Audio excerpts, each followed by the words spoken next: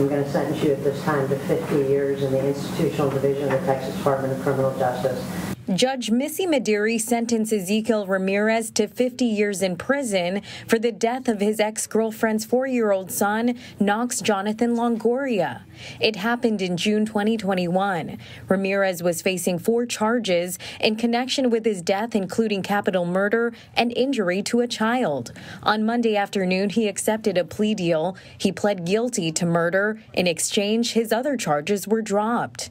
Family and friends of the Longoria family filled the courtroom to witness Ramirez's sentencing. Once the sentence was handed down, the loved ones of Longoria gave their victims impact statements. Emotions flowed throughout the courtroom as they addressed Ramirez with their final words. The unimaginable pain and sadness you caused those babies, I wish on you for eternity. I hope you go to hell's there will never be forgiveness for taking the life of sweet Knox Longoria.